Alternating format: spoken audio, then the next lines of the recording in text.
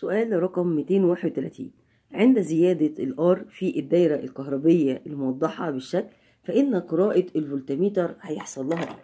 تمام الفولتميتر له طرفين طرف الناحية دي وطرف الناحية دي لو سميت الطرف ده ألف والطرف ده ب هل تعلم إن الفولتميتر بيقرأ من الجهتين؟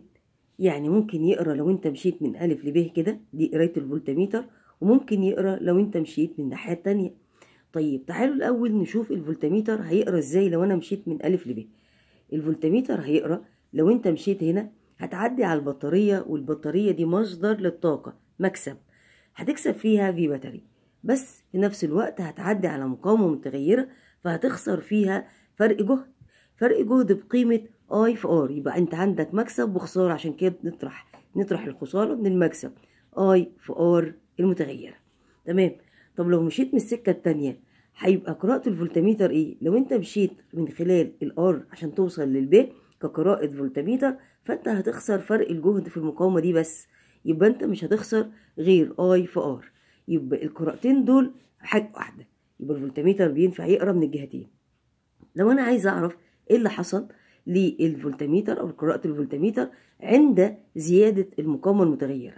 زيادة المقاومة تعني نقصان التيار زيادة المقاومة تعني نقصان التيار فأنا عندي هنا المقاومة زادت وعندي هنا التيار قل فأنا مش عارفة أقول إن هذا المقدار بينه وبين الفي علاقة تناقصية. أهم حاجة أعرف المقدار ده هيزيد ولا هيقل؟ هل هو هيزيد زي ما المقاومة زادت ولا هيقل زي ما التيار قل ولا الزيادة قد النقصان ما حصلش حاجة؟ طبعا هيبقى صعب للطالب العادي إنه يعرف إجابة الجزئية دي. فالأفضل ليه يمشي من السكة اللي مفيهاش مشاكل اللي هي آي فار خصوصا إن المقاومة اللي هيعدي عليها مقاومة ثابتة وبالتالي التغير هيحدث في الآي بس. وبتقول لي زودنا المقاومة فزودنا المقاومة يبقى التيار هيقل.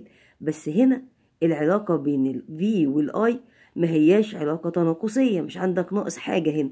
هنا ال V بيساوي I في R ده بسط وده بسط. لو انت قلت على واحد على واحد يبقى ده بسط وده بسط يبقى التيار لما يقل ده معناه إن قراءة الفولتميتر هتقل. يعني الإجابة الصحيحة هتبقى رقم ألف. طيب لو أنا حبيت أحسبها من هنا لو كنت طالب ممتاز هتفهم إن تأثير المقاومة أكبر من تأثير التيار. يعني هنا هعتبر كأن التيار معرفش عنه حاجة وهيبقى المؤثر هنا المقاومة فيبقى المقدار ده كده زاد. وبين هذا المقدار والفي علاقة تناقصية. أزام هذا المقدار زاد يبقى الفي برضو هتقل نفس الإجابة بس دي عايزة وعي من الطالب أما دي هيقدر الطالب العادي المتوسط يجاوب عليها عادي.